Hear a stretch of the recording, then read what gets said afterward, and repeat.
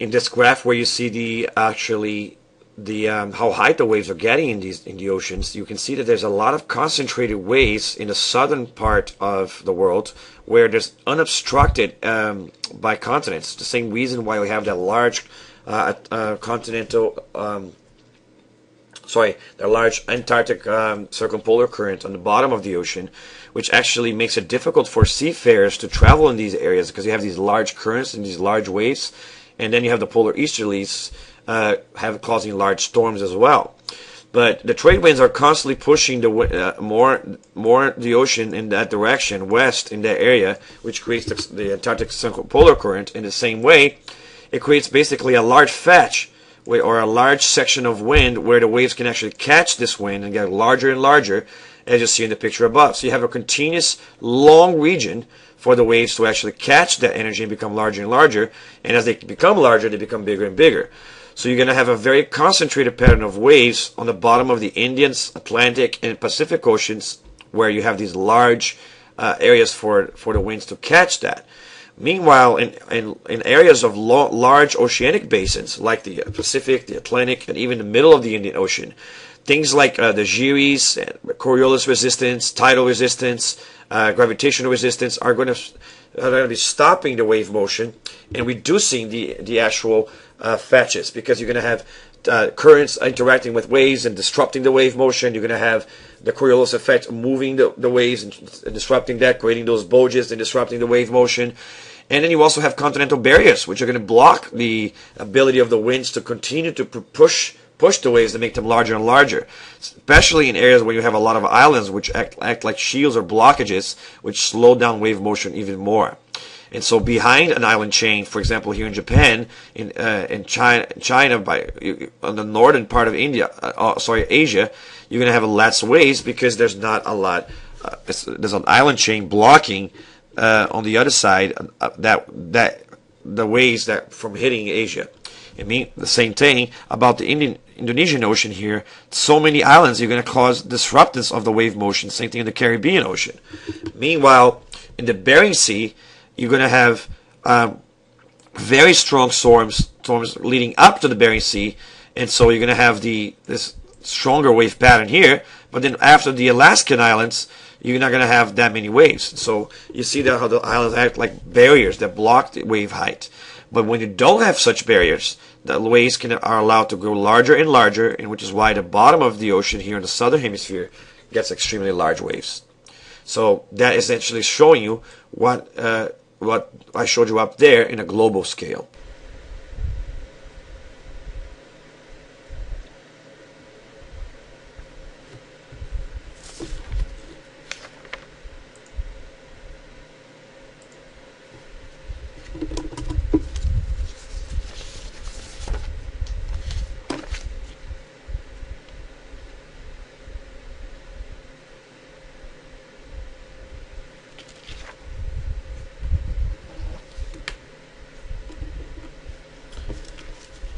Along the same lines of this uh, pattern of blockage that the continents cause, or the lack of blockage leading to larger waves, um, as we're going to talk about when we do another video called types of waves, um, there are other things that also create wind uh, waves other than winds, such as like large disturbances on the surface of the ocean, such as the things that cause tsunamis, like um, say a meteor impact or a large landslide or an earthquake or something like that.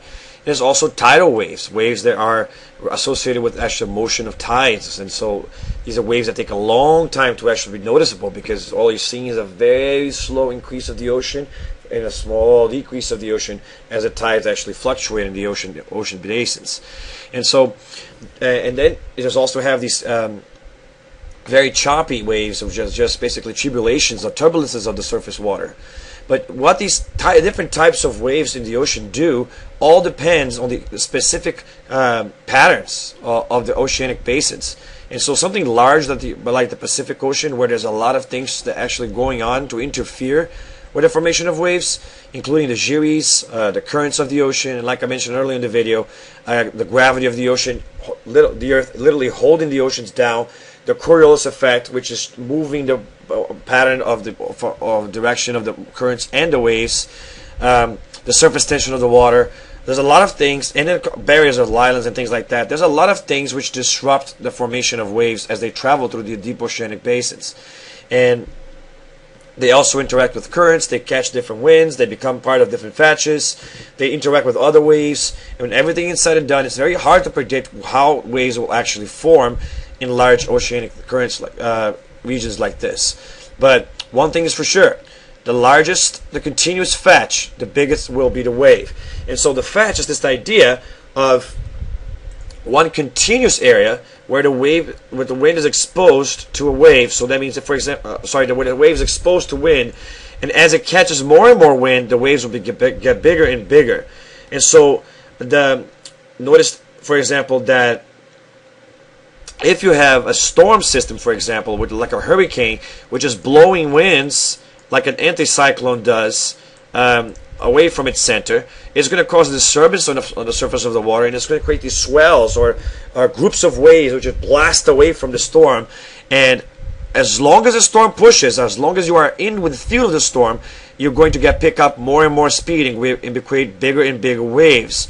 And so this is what we call the, a storm's fetch. And you can see here what they're trying to show you is that uh, as the waves are closer and closer to the storm, they are stronger and stronger because they're closer and closer to the astral fetch. And that's kind of how the waves grows as it's part of, becomes part of a dynamic storm system. The same thing is true about as waves approach the uh, the, the uh, beach and they catch the ocean the ocean breeze, or that we learned about when we did the climate chapter, the atmosphere chapter. There's always a breeze in the mornings and throughout the day that blows from the water towards the land. So the waves actually pick up speed as they become part of that fetch.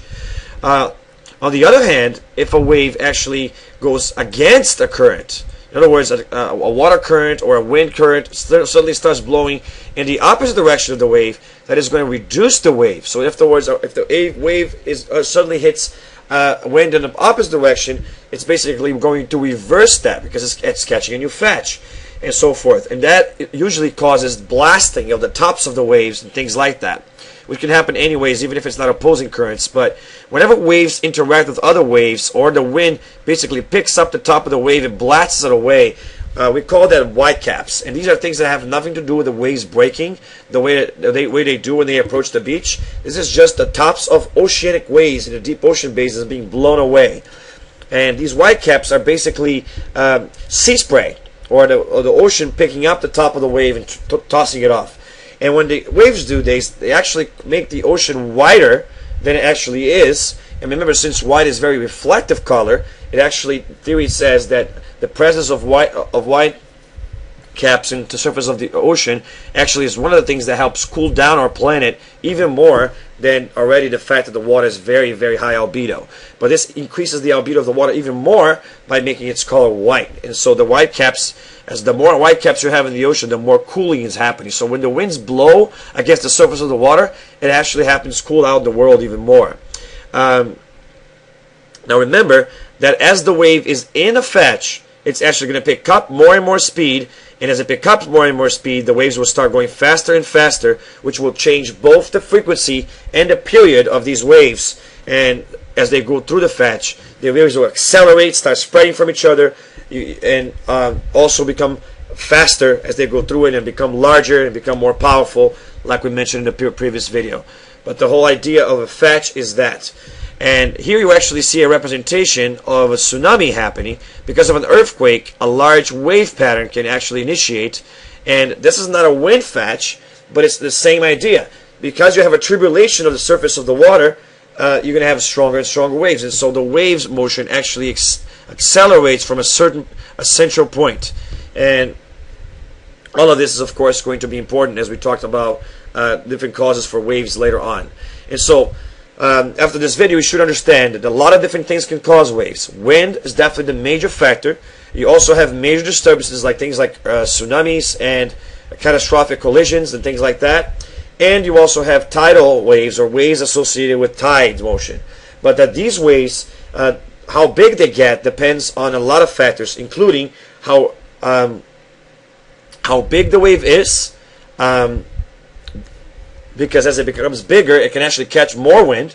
But remember that if it gets too big, it becomes too large and too heavy, and if there's not enough water underneath to support the weight of the wave, it will collapse under its own weight.